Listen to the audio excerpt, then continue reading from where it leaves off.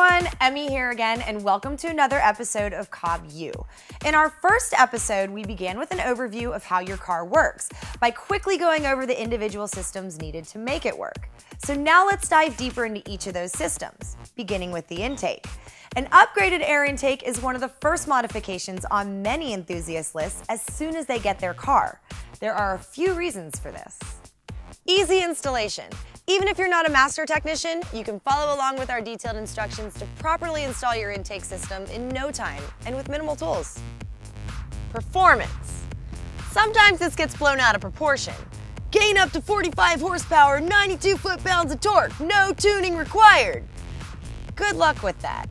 Exaggeration aside, some cars respond better to modified intakes than others, and in most cases, you should see some power gains. Last, but certainly not least, sound. An upgraded intake not only looks better than the stock one, but sounds better too. And personally, there's nothing sexier than hearing the sound of a turbo spool up. When we talk about an upgraded intake, it could be something as simple as a freer flowing drop-in filter, or it's a complete metamorphosis to accommodate an upgraded turbo. What it isn't is something that looks like it was sourced from your local home improvement store. So let's talk about all the components of an intake so we have a better idea of what we're working with. For this demonstration, we're going to use components from a Subaru WRX STI, so your setup might look different. Here we have a stock Subaru intake and airbox with original filter, an upgraded drop-in panel filter that works with the stock airbox, and the Cobb SF intake and airbox for the same vehicle. Taking a closer look at the stock intake, there's this snorkel here, and overall this thing is heavy, it's bulky. Gets the job done, but there's definitely room for improvement. Let's pop open the air box and take a look at the filter element. Swapping out your stock filter is going to be the first and easiest upgrade you can make because a drop-in high-flow filter allows more air to pass through than the stock one without replacing any other parts. You just drop it in, retune the ECU if needed, and you're good to go. It's a great upgrade for someone who wants to keep their stock airbox but wants something a step above stock. When you're ready to kick it up a few notches, you can replace the entire intake and airbox. You may have noticed that some things have stayed similar while others have changed. You can see we still have a box to shield our intake from the heat of the engine bay, but the panel filter has been upgraded to a high flow cone filter. The filter is then connected to a MAF sensor housing. And finally, there's a silicone post MAF hose, which is much smoother internally than the stock plastic part. This will make for less turbulent airflow.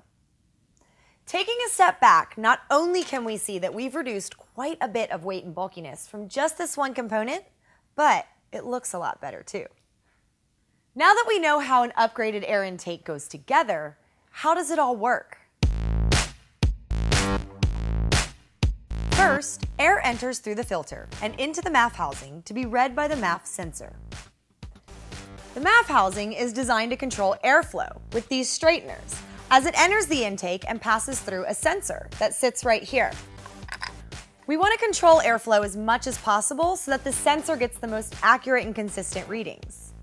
And since we've mentioned MAF a few times now, it's the perfect time to explain that MAF stands for mass airflow. Simply put, this sensor measures the amount of air flowing past it, as well as the temperature in order to adapt to various climates. This sensor and its location are very important because the reading it provides to the ECU dictates several vital functions that have a direct impact on the performance of the engine. Things like the amount of fuel needed for complete combustion, load calculation, ignition timing, and other key factors. That's why this just isn't going to cut it. Finishing up our intake, once the air is measured by the MAF sensor, it makes its way through the post-MAF hose and continues on its journey to the turbo inlet hose and then the turbo, which we'll cover in our next video.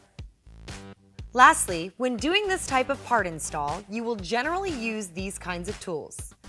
Allen wrenches or hex sockets, ratchets and sockets, opened end wrenches, screwdrivers, dikes for cutting, and silicone spray.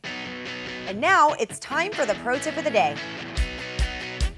Let's talk filter maintenance. If your filter's all gunked up, your car can't breathe deeply. And as a result, you're gonna get a little loss in performance. So you're gonna wanna routinely clean and re-oil it.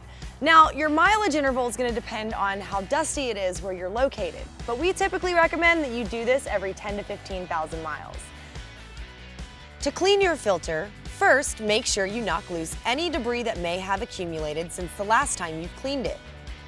Next, douse the filter in our cleaning solution, spraying from the outside in, and let it set for about 20 minutes.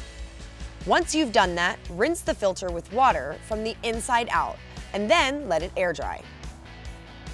An important note, do not use forced heat or air to speed up the drying process.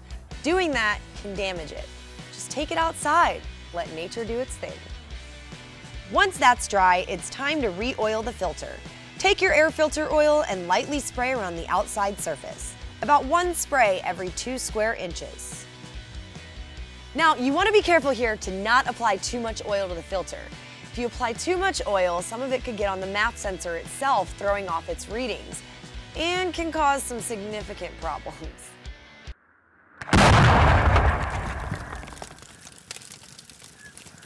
No, but seriously, don't over oil your filter. It's the opposite of a haircut. You can always add a little more, but if you do too much, you're gonna have to start all over. One round of oil will do the trick.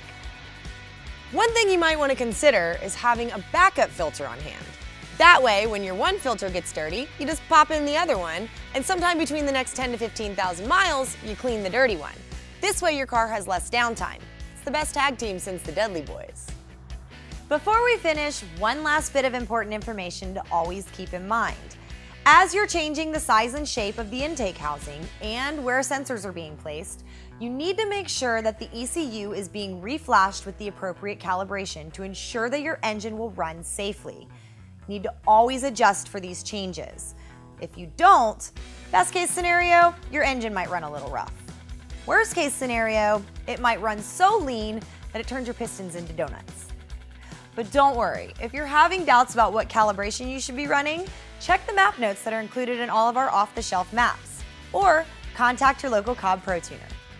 That's gonna do it for this episode. In our next video, we'll explore the turbo, its components, and how boost is managed. Thanks for joining us, and be sure to subscribe to our YouTube channel so you can check out future episodes. I'm Emmy, your host for CobbU. Remember to check out cobbtuning.com for all your parts and tuning needs.